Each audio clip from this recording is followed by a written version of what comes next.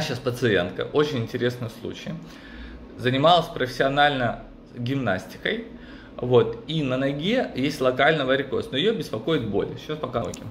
Смотрите, а боль у нее 100% не из этих вен, вот они. Да, вот так они торчат, вот такой клубочек вен вот здесь.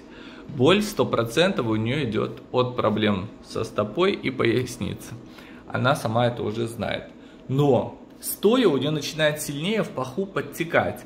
А, Лежа клапан идеально закрывается. Здесь под вопросом, стоит ли делать операцию. Можно хотя бы начать со склера. Аккуратно сделать склера. Поносить специальные гольфы две недели и посмотреть результат. Понравится? Тогда больше ничего не делаем. Поняли? А так, ограничений, в принципе, сейчас никаких. Единственное, только таблетки, самое главное, не пейте. Очень часто назначают разные препараты, там, флебоди, антистак, детролекс, по моей практике, они не помогают.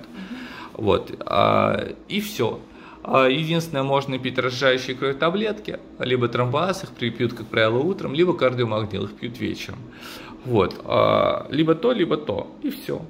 Потому чтобы не было никаких тромбозов и чтобы не было никаких проблем на будущее с венами. А так, у вас катастрофы нет, учиться нужно. Вот так, друзья.